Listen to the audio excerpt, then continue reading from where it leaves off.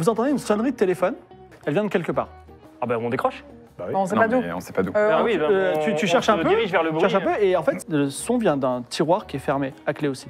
Est-ce que j'ai des capacités de crochetage? Oui, tu peux, enfin, tu peux forcer si tu veux. Plutôt, il y a pas de, c'est pas, un- c'est pas un donjon et dragon malheureusement. Ah oui. En fait, je suis très sensible au son. Et, euh, et, au- et j'ai l'impression que ce téléphone est sûrement sur la 5G. Et j'a- j'avoue que c'est pas trop mon truc.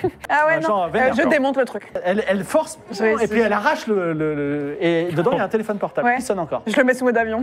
Five minutes later. Je pense qu'il faut qu'on appelle euh, Sylvain Joubert ou qu'on aille voir euh, le radar euh, On pour appeler, euh, appeler Sylvain. Les Américains qui appellent quand même, c'est important. Ça répond pas. One hour later. Ah, tu veux repasser Tu voulais la rappeler? On peut retenter, non? Ouais, ouais, ouais. Ça ne répond toujours pas. Non, mais il a pas son, il a pas son téléphone sur lui. Mais là, ça fait. Ah mais c'était pas son téléphone qui était dans le qu'on a mis en mode avion là? Non, je pense pas. Oh, si, on, on le regardera tout à l'heure, on voit s'il appelle.